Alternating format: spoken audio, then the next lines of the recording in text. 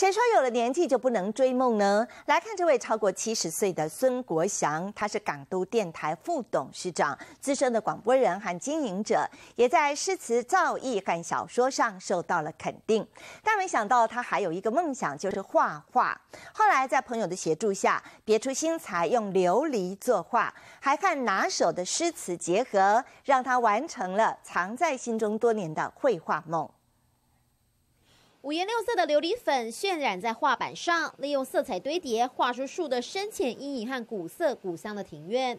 你看那个树啊，这些大门啊，那个斑驳的感觉啊，哦，我就感觉说，好像突然又回到那个小孩子的时候。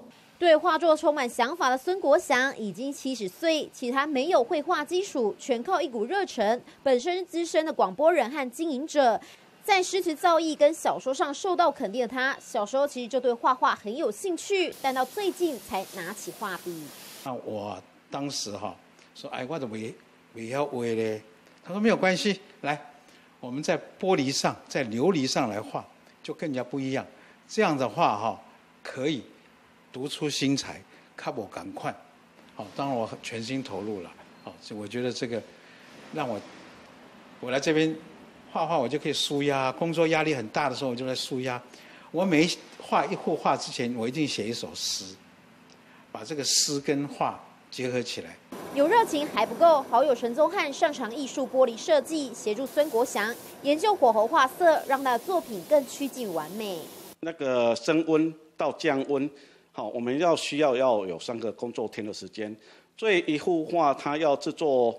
好，那个能够满意，其实要相当相当困难。而且，当我们在开颅过程当中，他不一定完全都会成功，要求非常非常高。他觉得他那个琉璃画好画的不是他满意，好，我们就把它打掉。在重练。